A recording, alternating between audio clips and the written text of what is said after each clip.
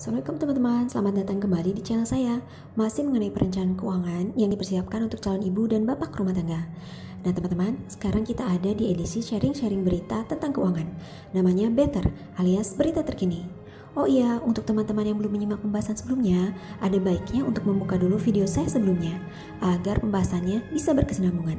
Linknya sudah saya cantumkan di box deskripsi ya. Teman-teman, harga emas global berpotensi melanjutkan penguatan setelah beberapa pekan ke belakang mengalami penurunan yang lumayan tajam. Hal ini disebabkan oleh kebijakan moneter yang diambil Bank Sentral Amerika Serikat atau Federal System yang biasa juga disebut The Fed.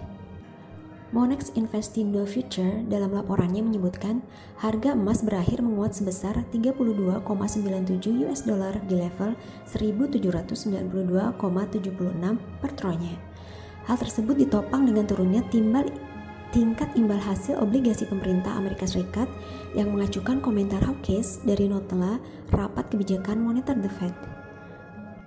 Dilansir dari bisnis.com, Kamis 14 Oktober 2021, harga emas global pun bisa diprediksi kembali menembus level 1.800 dolar per troy. Di dalam negeri, Harga emas 24 karat yang dijual di Pegadaian pada hari ini kompak naik untuk cetakan Antam dan UBS.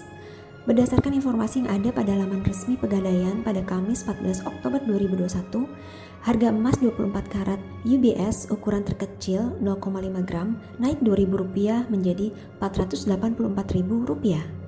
Sedangkan harga emas terkecil Antam naik Rp7.000 per 2 gram menjadi Rp1.841.000. Namun dilansir dari suara.com 15 Oktober 2021, harga emas mengalami pelemahan kembali sebesar Rp2.000 menjadi Rp926.000 per gram. Akankah emas ngeprank para pengikutnya seperti yang terjadi di ranah cryptocurrency sepanjang bulan September kemarin? Semoga tidak ya kawan. Nah teman-teman, sampai di sini dulu pembahasan secara singkat dan sederhana tentang bangkitnya komoditas emas di edisi Better alias berita terkini. Untuk teman-teman yang ingin mengetahui penyebab kenapa harga emas bisa naik atau turun, bisa klik video Better 3 di deskripsi box. Tetap disclaimer on ya, karena keputusan investasi merupakan tanggung jawab masing-masing.